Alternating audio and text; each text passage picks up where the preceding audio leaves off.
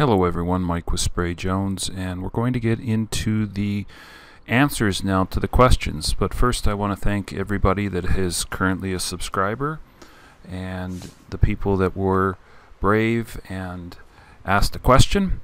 Gets the dialogue going, makes things fun and engaging. So I want to give a big thank you to everybody. Now let's get into the questions.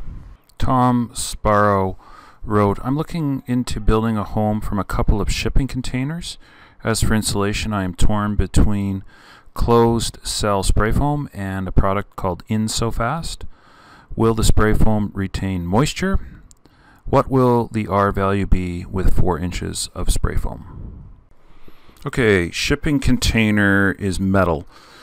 This is a pretty easy decision to make. Uh, I took a look online at the InSoFast product. It's a panelized system. It's good. It's very good. It would definitely have some uh, applications in a numer numerous types of jobs. However, when you're dealing with metal and you're dealing with corrugated metal, you want to get something that is going to bond tenaciously to the metal and follow the profile, and that is spray foam. So my recommendation would be what we've done numerous containers with, and I'll put up some pictures here of sea cans that we've done.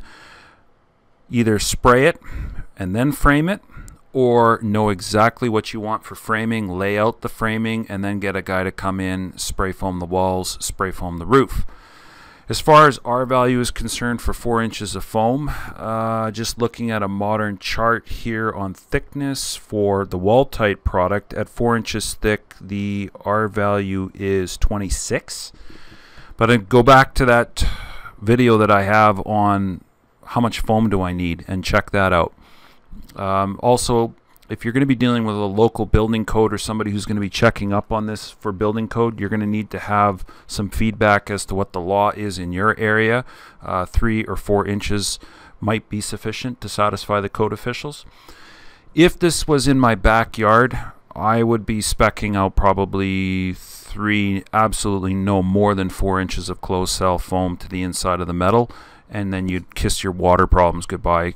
Uh, as far as Moisture retaining? No, the whole idea of the spray foam is there is no moisture retained. Uh, the metal can get as cold as it wants as long as it's fully bonded uh, to it. It's going to be sealed and you're not going to have any moisture problems between the foam and the metal the way that you would with the panelized product. Panelized product is going to have not follow the profile and you're going to have to figure out how to adhere it and then you're going to have seams. You would guaranteed uh, to have some sort of water and condensation build up behind the panels at some point. So hope that answers your question. Ken wrote, Thanks for the answer and question period. Wondering on the air temperature and structure temperature range for best application. Also, what are the regulations in regards to an application? Does each province share the same requirements or are they individual? Thanks for your channel and time. Air and structure temperature for best application. That's simple. Uh, above zero. Most manufacturers have products that can approach freezing, but like a lot of things in life, if it's warm, if it's above freezing point, above zero degrees Celsius, then you're good to go. I personally prefer that we be above zero, even in the wintertime, so we get the structure warm. Warmth drives out the damp, promotes adhesion, makes sure there's no minor frost or minor moisture on the surface that's hard to see to the naked eye. Uh, things just go on better when things are dry and warm, so above zero. Um, there isn't really any other better way to make it other than just get things warmed up and you've got to watch it. You get into winter time, you start putting heat to things. This is where you separate the men from the boys.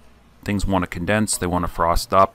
Now you're going to run into issues. So if you're into wintertime application, it's going to be a function of relative humidity and how much heat you're putting to it. But the pure answer is get it above zero.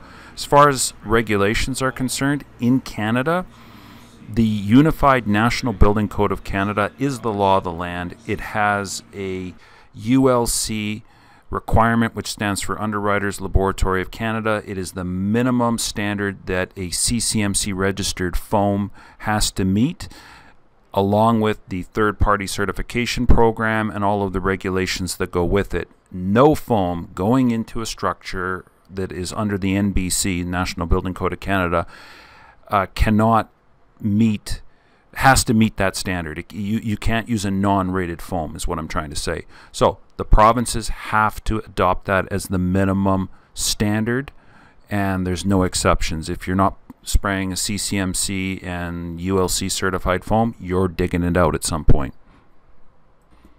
This individual writes, Hi, I live in the Midwest on the border of climate zones 4 and 5. I would like to spray foam my roof deck. What I would like to know is should I use open or closed cell and how thick should it be applied? Thank you in advance. Okay, climate zones 4 and 5, I have to admit I'm not familiar with that. Being that I'm a Canadian, I took a quick look on the map here and it leaves a lot of speculation. Should I go this way? Should I go that way? Depending on exactly where you are in the Midwest. However, this is where closed cell spray foam excels at. If you have any doubt, there is no doubt. You go closed cell. The reason being is that it ends the discussion on vapor barrier. Where do you locate it? What do you use? Do you need any spray on vapor barrier, sheet product, or what have you, like you would with the open cell product? When you get to certain lines in the United States, there are mandatory vapor barrier requirements and optional. Okay, so when you are going closed cell, you have the Rolls Royce system as far as the envelope is concerned. Now, how thick when spraying it to the roof deck? You are going to have to choose a contractor in your area that is up to speed on the building code for your area. The reason being is that even in Canada, the answers given from one province to the next, one region to the next can vary.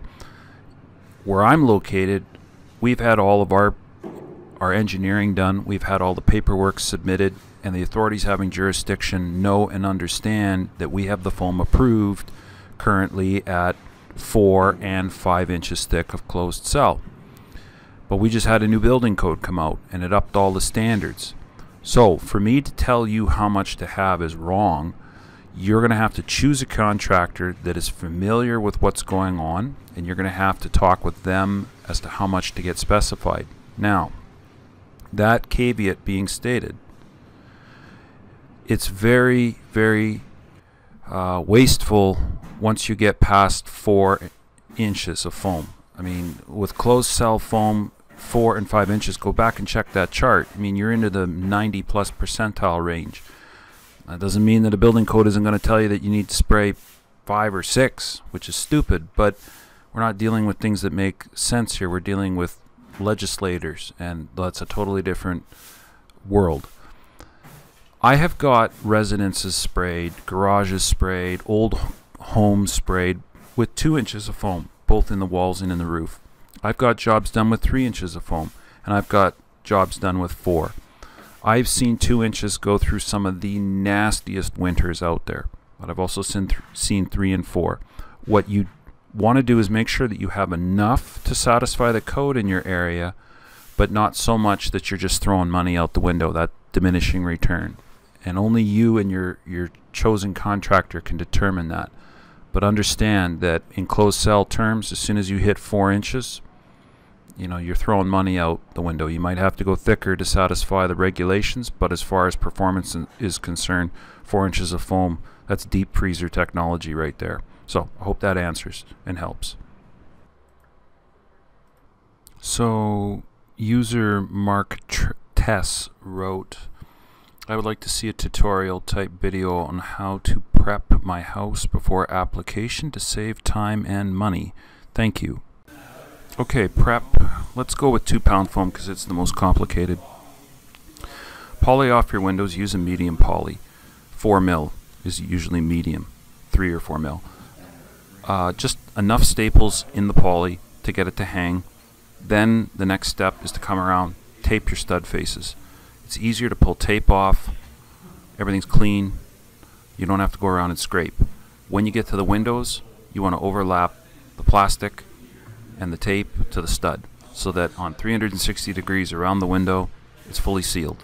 So you just need a few staples to hold it up there. You don't need to do 27 staples per window like some of these fools do. Tape it, then it doesn't get in back and behind it. If you're going to be spraying your floor, good idea to cover your floors up. Nobody wants to go around and scrape floors. Uh, there's going to be drips. I call them little robin's eggs or what have you, little little round balls of foam that land on the floor. It can be a real hassle to go around and scrape that stuff up. And people that don't do it leave a mess for the next guy, and then the next guy's complaining and wanting to backcharge you. As far as going around, make sure that the sawdust, all the the wood chips, um, the cuttings and trimmings from the electrician, make sure all that junk is out of the walls. Make sure it's out of low-lying areas where, where gravity's going to collect it and, and funnel it to. Just get it swept out of there, then you know everything's good to go. Tight areas have got to be open. Um, the spray gun takes up quite a bit of space, and it's not just perfectly magical that we can always get in. If we can see into it and get the gun articulated into it, then generally we can spray it. But if you've got a tight L corner, you're either going to have to drill maybe with a two inch hole saw holes so we can inject the foam into it, or you're going to have to take a sawzall and cut back some of the corners so that we can progressively, maybe every foot up, have an area to actually inject the foam into. But I would get your installer of choice to help walk you through, like get a pre walkthrough on the house and get them to talk to you about it as to what you can do to get ready. The other thing is high areas, scaffolding, uh, temporary work platforms. If you got a stairwell, uh, that there's no way of getting to that portion of the roof or that portion of the walls, you might have to put up some 2x6s and some plywood so the guys have something secure to stand on. Just make sure it's well built, screwed, and fastened into place. We get a lot of temporary work platforms built. You want to make it so that when the guys that are coming to spray your house get there, they can back in easily. Uh, the windows are covered, the studs are covered, the floor is covered, temporary platforms are built in easy access, happy guys, room to pull the hose in, you know, not a bunch of nails sticking out everywhere, and get your building materials out of there. You don't have flooring material or studs or pine or the siding for the house or, or even the drywall. Hold off on getting the drywall delivered until well after the spray is done. The more junk they have to walk around and move around, the more they're going to want to charge you. The grumpier they get, then the worse the workmanship does. So a clean, wide open job site visual everything, make sure everything has been uh, done to your satisfaction, then start pulling down your masking and have a big garbage bin or something that everything can go into. Otherwise, they're going to leave a mess potentially at your site. Sometimes we haul stuff away, but if we have a garbage bin at site that's for that use, that's what we'll do. We'll put the stuff into there. So I hope that helps. So Ken writes, big important question. If you overfill an area and then cut back to flush, does that erase the vapor barrier part of the foam? Other words, does cutting the foam cure or after cure allow it to be affected by wet air or water? Great question. Pertaining to closed cell foam, the vapor barrier properties of closed cell foam are not found in the skin of the foam. The overall density and chemical composition, cell structure, of the foam is what provides the vapor diffusion as well as the final skin against the substrate. So when your supplier is testing vapor barrier qualities, or vapor permeance we should say, of closed cell foam, it always has to be tested against a particular substrate. So they're going to do a test against OSB, they're going to do a test on plywood, they're going to do a test on concrete, metal, uh, drywall, cardboard. These are pretty well the most common. From there, they're going to have a core density done.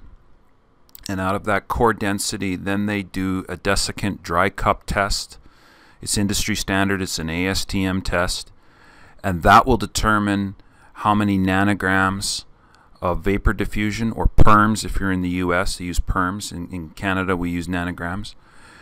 But that is going to show at a given thickness on a given substrate how much foam it takes to reach vapor barrier. So you cannot sit there and say that two inches is a vapor barrier because on concrete it's not. It's less than that it's less than that on plywood so if you have a 2 or a 3 or a 4 inch application of closed cell foam, cutting and shaving the foam is not going to remove the vapor barrier quality of it because it's not found in the skin. The overall product, the density, the cell structure, and the substrate make up the total accumulated permeance rating of the product at a given thickness and that's what you need to go on. So you can shave the foam, you can deal with it, um, trim it back, and you're good to go. Uh, you just need to get all all suppliers will have a chart on this, and you can check it out. But in normal two by six, even two by four construction, you're you're generally nowhere even near cutting and trimming the foam back to be too thin um, to to lose any of your qualities. So this concludes our first Q&A session. Hopefully you've enjoyed it. It's been productive for you and for me. Once again, I want to thank all of the subscribers and to all of the people that asked a question. I hope that you stick around and we have many more.